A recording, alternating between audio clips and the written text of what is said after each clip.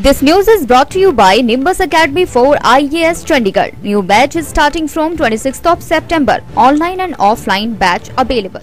प्रधानमंत्री नरेंद्र मोदी के 5 अक्टूबर को बिलासपुर में होने वाले दौरे को लेकर स्पेशल प्रोटेक्शन ग्रुप यानी एसपीजी ने सुरक्षा व्यवस्था का जिम्मा संभाल लिया है रविवार को बिलासपुर पहुँची एसपीजी टीम ने जिला बिलासपुर के प्रशासनिक अधिकारियों के साथ बैठक की और सुरक्षा की दृष्टि से उचित दिशा निर्देश दिए साथ ही प्रशासनिक अधिकारियों के साथ लुहणु मैदान का दौरा किया जहाँ मोदी की रैली होगी।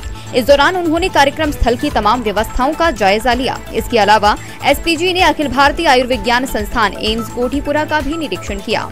एसपीजी की टीम आई है और उनके साथ पहले हमारी मीटिंग हुई थी। उसके बाद पूरे वेन्यू का निरीक्षण किया और हेलीपैड का भी अब हम एम्स जा रहे हैं।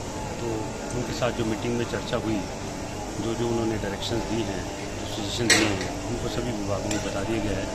और हम कोशिश कर रहे हैं कि कल शाम तक सारी तैयारियाँ पूरी कर करें और ड्राई हम ऑफ़ फोर्स तारीख को करें जनरल डायरेक्शन हैं, जो सभी जगह होती है, वैसी डायरेक्शन हैं। और वैसे तो हमारी तैयारियाँ काफ़ी अच्छी हैं।